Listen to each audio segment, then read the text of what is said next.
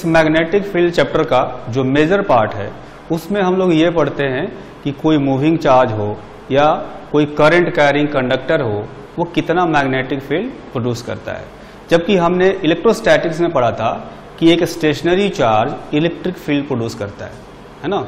Stationary charge electric field produce कर रहा है और इस चैप्टर में क्या पढ़ेंगे कि चार्ज मोशन में होगा तो मैग्नेटिक फ़ील्ड प्रोड्यूस करेगा।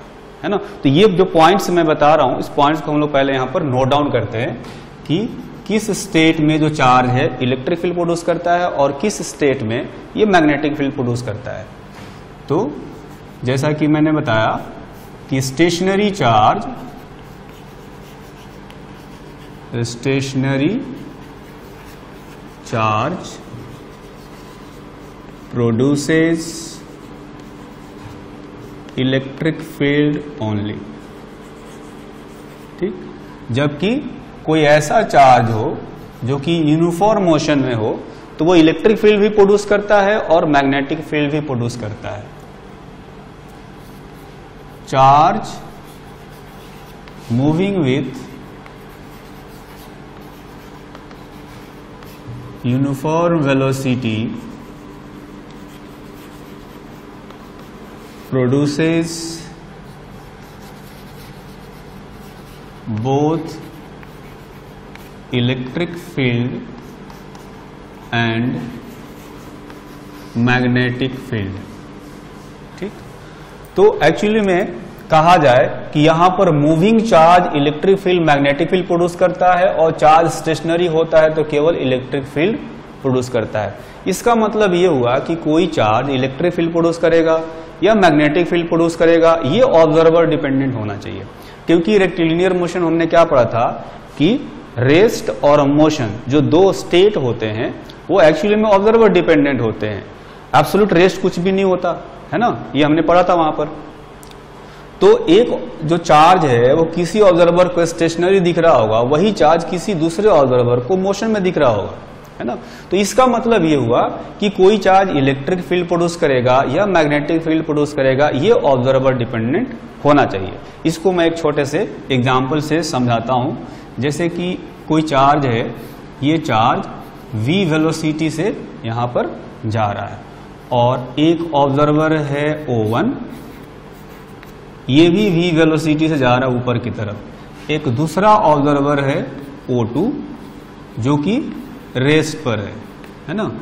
तो ये जो ऑब्जर्वर है, इसको ये चार्ज जो है स्टेशनरी दिखेगा, है ना? ये खुद भी वी वेलोसिटी से जा रहा है और ये जो चार्ज है, ये भी वी वेलोसिटी से जा रहा है, दोनों सेम डायरेक्शन में जा रहे हैं। तो क्या होगा कि इस ऑब्जर्वर को ये चार्ज रेस्ट पर दिखेगा और इसलिए ये चार्ज इसके रेस्पेक्ट में केवल इलेक्ट्रिक फ़ील्ड प्रोड्यूस करेगा। तो कह सकते हैं with respect to observer O1 charge is stationary so it produces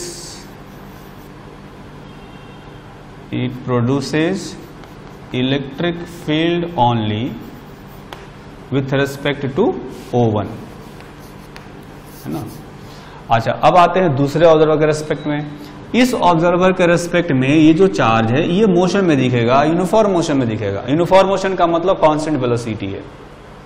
ठीक? तो इसके रेस्पेक्ट में ये जो चार्ज है, ये इलेक्ट्रिक फ़ील्ड भी प्रोड्यूस करेगा और मैग्नेटिक फ़ील्ड भी प्रोड्यूस करेगा। ठीक है? तो जैसे कि ये जो चार्ज है, इस चार्ज का अपना एक रीजन होता है, जिस रीजन में ये इलेक्ट्रिक फ़ील्ड क्रिएट करता है। जब ये चार चलने लगेगा तो ये जो पूरा रीजन मैंने सर्कुलर रीजन दिखाया सर्कुलर रीजन इसके साथ में आगे आगे खिसक रहा होगा। इसलिए किसी भी पॉइंट पर जो इलेक्ट्रिक फ़ील्ड ये प्रोड्यूस करता है, वो वेरी करने लगता है है ना? और इलेक्ट्रिक फ़ील्ड वेरी करता है तो मैग्नेटिक फ़ील्ड प्रोड्यूस होता है। मैग्नेटिक फ़ील्ड वेरी करता है तो इलेक्ट्रिक फ़ील्ड प्रोड्यूस करता है। तो एक्चुअली में इलेक्ट्रिक फ़ील्ड और मैग्नेटिक फ़ील्ड जो है, वो एक दूसरे के कॉम्प्लीमेंट्री है है ना? और इसीलिए हम लोग जानते हैं कि चार फंडामेंटल फोर्सेज में से एक जो होता है इलेक्ट्रोमैग्नेटिक फोर्स होता है, ठीक? तो अलग अलग इलेक्ट्रिक फोर्स मैग्नेटिक फोर्स अलग अलग नहीं कह करके इलेक्ट्रोमैग्नेटिक फोर्स इसीलिए कहा जाता है, क्योंकि ये एक दूसरे पर डिपेंडेंट है। है एक्चुअली में एक ही चीज़ डिफरेंट ऑब्जर्वर के लिए वो डिफरेंट तरीके का फोर्स दिखता है, ठीक? तो दूसरा वाला जो ऑब्जर्वर है, इसके रेस्पेक्ट में ये वाला जो चार्ज है वो इलेक्ट्रिक फ़ील्ड भी प्रोड्यूस कर रहा होगा और साथ में चूँकि इलेक्ट्रिक फ़ील्ड वेरी करता है तो मैग्नेटिक फ़ील्ड भी आएगा, है ना? तो कह सकते हैं कि with respect to observer observer O2 with respect to O2 charge is moving with uniform velocity so it will produce it will produce both electric field and magnetic field Enough. Observer O2 के respect में ये electric field produce करेगा और magnetic field produce करेगा। लेकिन अगर कोई ऐसा चार्ज हो, जो कि एक्सेलरेटेड हो मतलब किसी वेलोसिटी से भी चल रहा है और उसके पास एक्सेलरेशन भी है तो वो क्या करता है? वो तो इलेक्ट्रिक फ़ील्ड प्रोड्यूस करेगा मैग्नेटिक फ़ील्ड प्रोड्यूस करेगा और साथ में एनर्जी भी रेडिएट करता है। है ना? आपने इलेक्ट्रोमैग्नेटिक वेव का नाम सुना होगा। तो एक्चुअली में इलेक्ट्रोमैग्नेटिक वेव जो है, उसका सोर्स होता है एक्सेलरेटेड चार्ज हमने पढ़ा था वेव में कि वेव क्या है? एक तरह से एनर्जी है। जहाँ जहाँ वेव जाता है, वहाँ वहाँ पर एनर्जी जाता है। तो एक्सेलरेटेड चार्ज जो है, वो एनर्जी रेडिएट करता है। और वो जो एनर्जी रेडिएट करता है, वो इलेक्ट्रोमैग्नेटिक वेव के फॉर्म में होता है। तो इसीलिए जो थर्ड पॉइंट है, इसमें हम लोग ये कह सकते हैं कि an accelerated charge an accelerated charge produces both electric field and magnetic field and also radiates energy ठीक तो इसीलिए कहते हैं कि accelerated charge is the source of electromagnetic waves ठीक? इलेक्ट्रोमैग्नेटिक वेव्स आगे एक चैप्टर आएगा, उसमें हम लोग पढ़ेंगे कि किस तरह से एक्सेलरेटेड चार्ज जो है, वो वेव जनरेट करता है या एनर्जी रेडिएट करता है। ठीक? अब इसमें हम लोग एक नेक्स्ट पॉइंट सीखेंगे कि जैसे कोई करंट कैरिंग कंडक्टर होता है। है ना? करंट कैरिंग कंडक्टर जो मैग्नेटिक फ़ील्ड प्रोड्यूस करता है, वो ऑब्जर्वर डिपेंड नहीं होता। यहाँ पर तो हमने क्या देखा कि जो मैग्नेटिक फ़ील्ड है, वो ऑब्जर्वर डिपेंडेंट होता है। तो यहाँ पर हमने ये सीखा कि इलेक्ट्रिक फ़ील्ड प्रोड्यूस करेगा, या मैग्नेटिक फ़ील्ड प्रोड्यूस करेगा, या एनर्जी भी रेडिएट करेगा, ये ऑब्जर्वर डिपेंडेंट है। लेकिन साथ में हम लोग ये भी सीखेंगे आगे जाकर के कि अगर कोई मूविंग चार्ज है, उसके पास वेलोसिटी वी है तो उसके कारण से जो भी मैग्नेटिक फ़ील्ड प्रोड्यूस होता है, वो उसकी वेलोसिटी पर डिपेंडेंट होता है। और उसकी जो वेलोसिटी है, वो एक्चुअली में ऑब्जर्वर डिपेंडेंट हो सकती है है ना? इसका मतलब ये हुआ कि चार्ज जो मैग्नेटिक फ़ील्ड प्रोड्यूस करता है, वो ऑब्जर्वर डिपेंडेंट होता है। ठीक है? तो मैं यहाँ पर लिख देता हूँ एक और पॉइंट कि magnetic field produced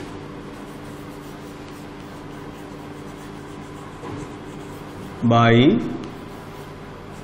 charge is observer dependent है ना? जबकि जो कंडक्टर है, करंट कैरिंग कंडक्टर है, वो कितना मैग्नेटिक फ़ील्ड प्रोड्यूस करेगा, वो ऑब्जर्वर डिपेंडेंट नहीं होता है। Magnetic field produced by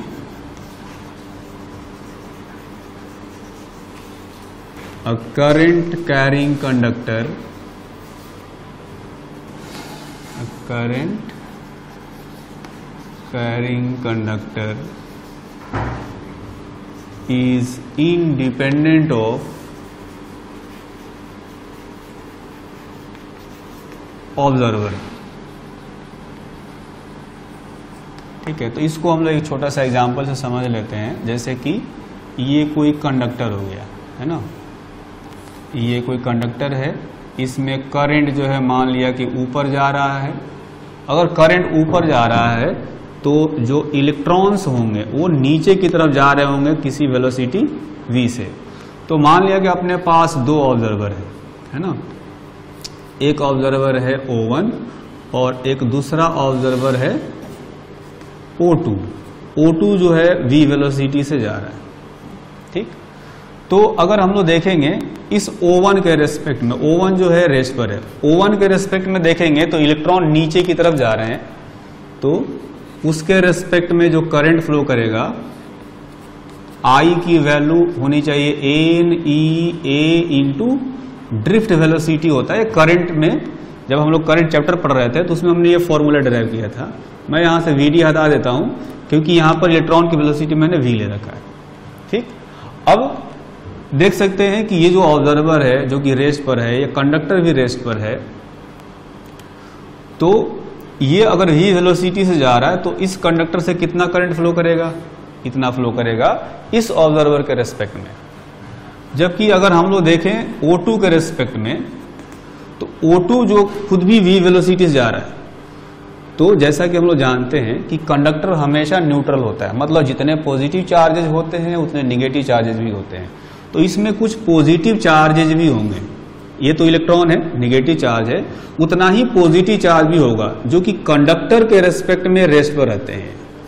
conductor के अंदर ये फिक्स्ड है, ये मूव मूव नहीं करते।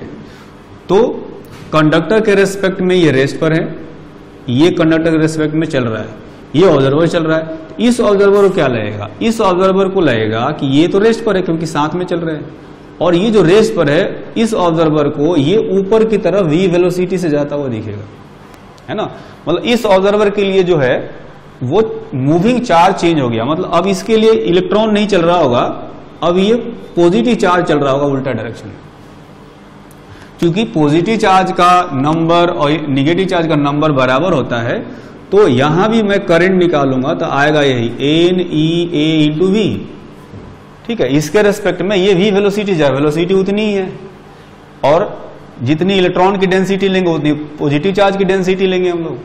तो करंट की जो वैल्यू आएगी, ये तब भी इतनी ही आएगी। डायरेक्शन भी उतना ही आएगा। अभी देखेंगे कि O1 के रेस्पेक्ट में पॉजिटिव चार्ज नहीं चल रहा था, सिर्फ़ इलेक्ट्रॉन चल रहे थे इधर। इलेक्ट्रॉन इधर चल रहे थे तो करंट उधर जा रहा था। इतना, है ना? इसके रेस्पेक्ट में क्या होगा? O2 के रेस्पेक्ट में ये नहीं चल रहे। ये पॉजिटिव चार्ज जा रहा है। तो पॉजिटिव चार्ज जिधर जाएगा, उधर ही तो करंट लेंगे। तो इसके लिए भी करंट उधर ही जा रहा है। तो दोनों ऑब्जर्वर के लिए करंट का जो मैग्नीट्यूड है, वो बिल्कुल सेम है। और जब किसी कंडक्टर के कारण से हम लोग मैग्नेटिक फ़ील्ड फाइंड करते हैं तो उसमें जो फॉर्म जो जो वेरिएबल्स आते हैं वेरिएबल्स में आई आता है वी नहीं आता। ठीक है? तो आई आने का मतलब ये हुआ कि जो मैग्नेटिक फ़ील्ड है वो करंट डिपेंडेंट है और करंट जो है वो ऑब्जर्वर डिपेंडेंट नहीं रहा, दोनों में बराबर आ रहा है। इसका मतलब ये हुआ कि किसी कंडक्टर के कारण से जो मैग्नेटिक फ़ील्ड प्रोड्यूस होता है वो ऑब्जर्वर डिपेंडेंट नहीं होता है, ठीक? तो अब जो है, हम लोग ये भी कर सकते हैं कि जैसे कोई मैग्नेट होता है मैग्नेट का जो मैग्नेटिक फ़ील्ड होता है वो भी ऑब्जर्वर डिपेंडेंट नहीं होता। Magnetic field magnetic field produced by a magnet is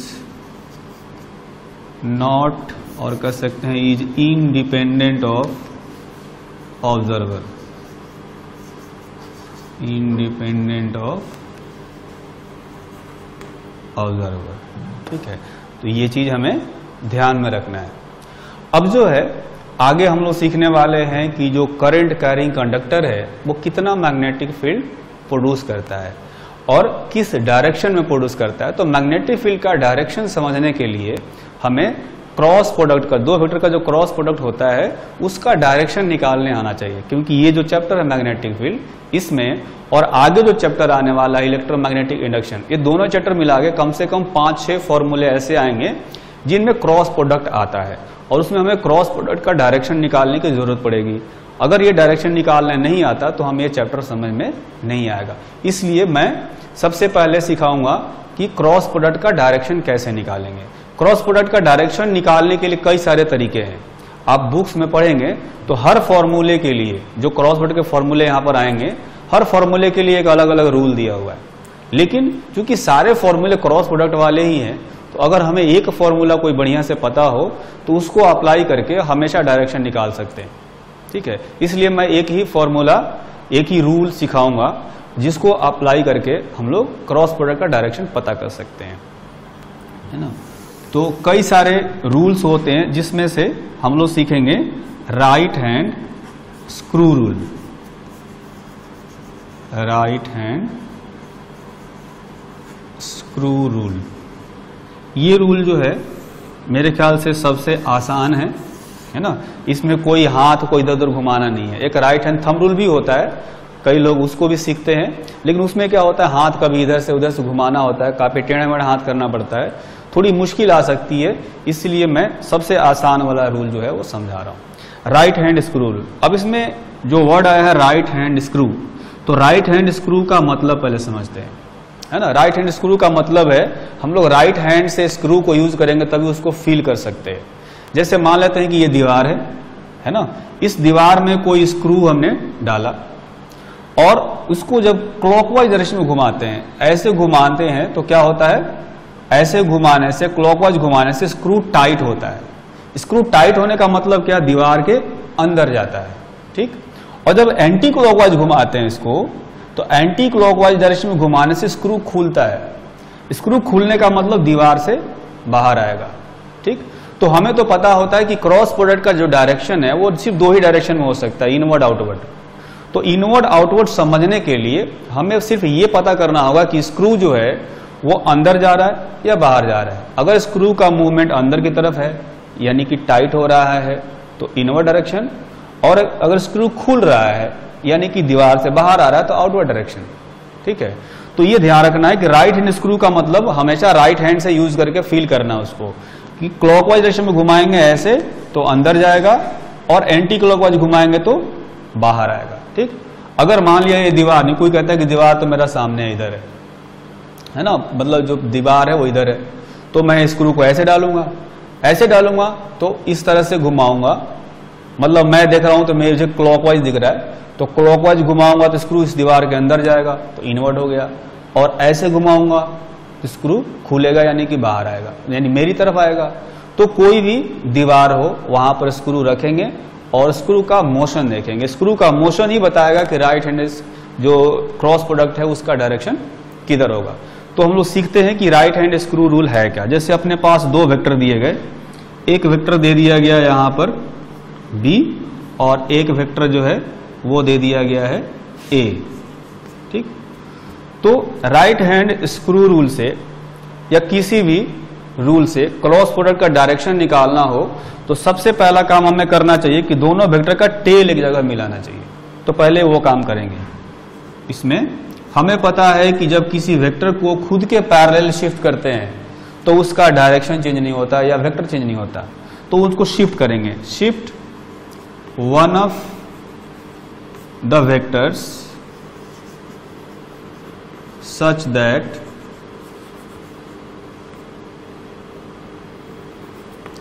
their tails their tails coincide. है ना? इस तरह से शिफ्ट करना है कि इनका टेल जो है वो कॉन्साइड कर जाए। अब चाहे तो ए को यहाँ ला सकते हैं। पैरेलल शिफ्ट करके। लेंथ चेंज नहीं करना है, उसका डायरेक्शन भी चेंज नहीं करना रोटेट नहीं करना, उसे खुद के पैरल ला देना है।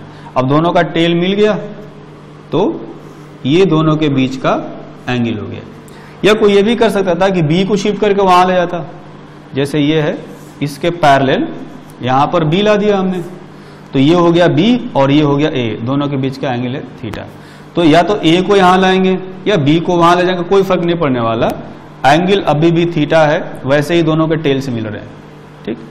अब जो है, जैसे ये वाला जो फिगर है, मैं इसको आगे बनाता हूँ यहाँ पर, कि जैसे ये तो हो गया वेक्टर ए और ये हो गया वेक्टर बी दोनों के बीच का एंगल है थीटा तो इसमें हमें हो सकता है कि ए क्रॉस बी का डायरेक्शन निकालना हो, या बी क्रॉस ए का डायरेक्शन निकालना होगा। तो जब भी हमें इनका डायरेक्शन निकालना होगा, ध्यान रखना है कि जो लेफ़्ट में लिखा है, इसको हम लोग मानते हैं कि ये फ़र्स्ट वेक्टर है और जो राइट में लिखा है, ये सेकेंड वेक्टर है। ठीक है?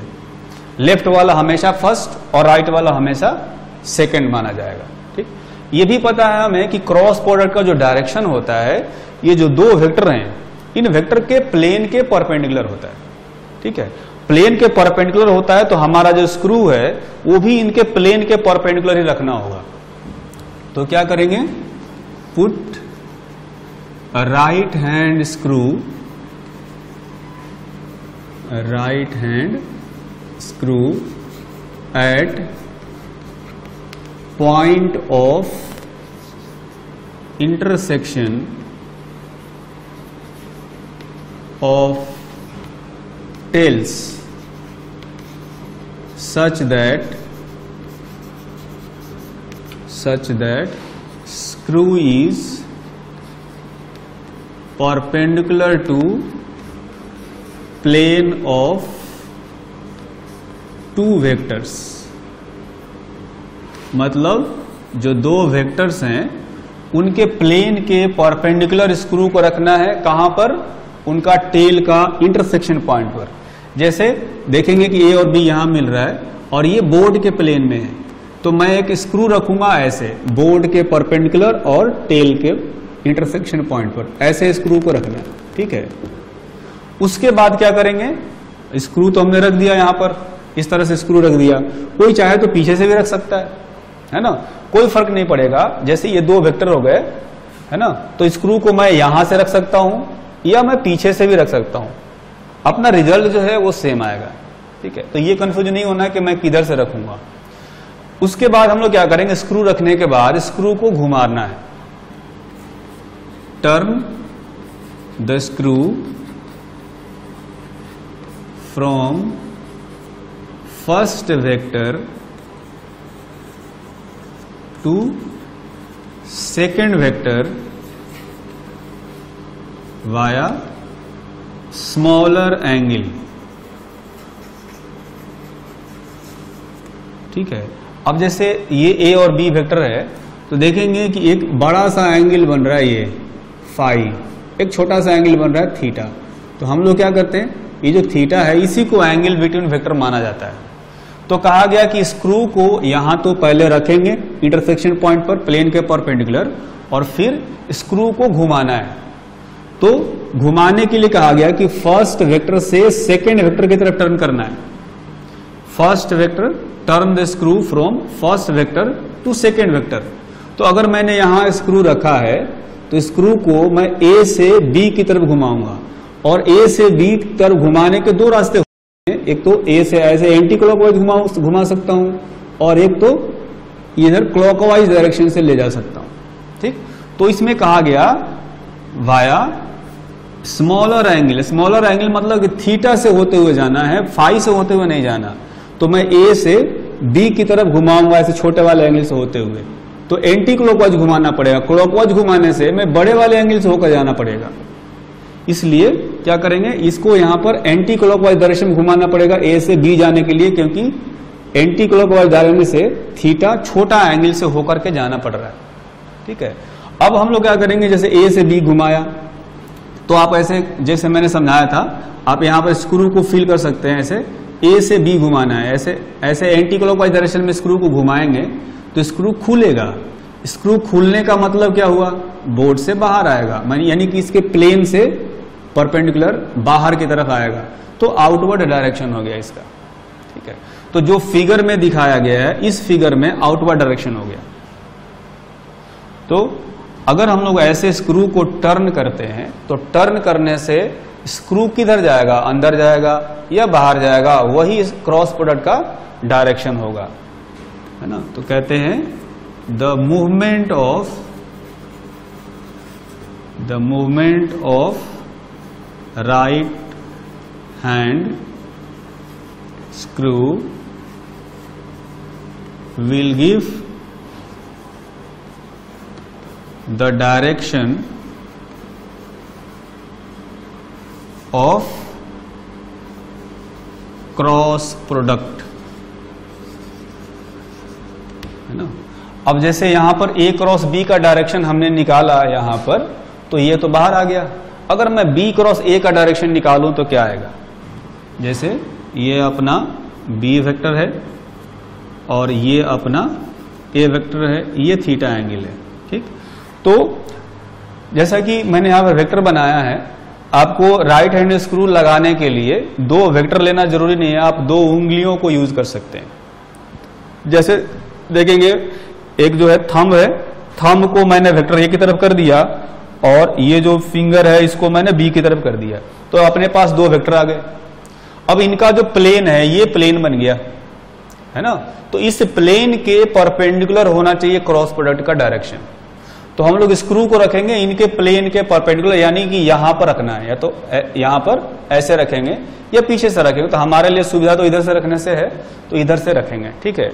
अब इधर से रखने से क्या होगा कि हमें अगर ए क्रॉस बी निकालना है तो ए फ़र्स्ट है बी सेकेंड है। तो ए से बी की तरफ़, यहाँ पर ए नीचे है है ना? तो ए से बी कर ऐसे घुमाना पड़ेगा मुझे। ए से बी की तरफ़ घुमाना है। तो स्क्रू को एंटी क्लॉकवाइज घुमाऊँगा तो स्क्रू खुलेगा। लेकिन अगर कोई बी क्रॉस ए पूछ रहा हो तो क्या होगा? अगर बी क्रॉस ए का डायरेक्शन निकालना हो तो बी फ़र्स्ट कहलाएगा और ए जो है वो सेकंड कहलाएगा। ध्यान रखना है कि ये बी है और ये ए है। तो बी क्रॉस ए का डायरेक्शन निकालना हो तो बी से ए की तरफ़ स्क्रू को घुमाएँगे। और वो भी छोटे वाले एंगल से, जैसा कि यहाँ कहा गया स्मॉलर एंगल से होते हुए तो बी से ए लाएँगे, यानी यहाँ से ऐसे लाएँगे तो क्लॉकवाइज घुमाना पड़ेगा हमें। तो अगर मैं स्क्रू को क्लॉकवाइज घुमाऊं ऐसे ऐसे तो स्क्रू टाइट होगा। टाइट होने का मतलब स्क्रू दीवार में जाएगा, अंदर जाएगा। तो इनवर्ड डायरेक्शन हो गया बी क्रॉस ए का। तो ए क्रॉस बी का direction outward B cross A का डायरेक्शन इनवर्ड इसका मतलब यह हुआ कि B cross A is equal to negative of A cross B दोनों का मैग्नीट्यूड इक्वल होता है डायरेक्शन सिर्फ़ अपोजिट होता है। जैसा कि हम लोग जानते हैं मैग्नीट्यूड होता है ए बी साइन थीटा दोनों के लिए। लेकिन डायरेक्शन अपोजिट है। ए क्रॉस बी बाहर आया और B cross A invert direction में आया।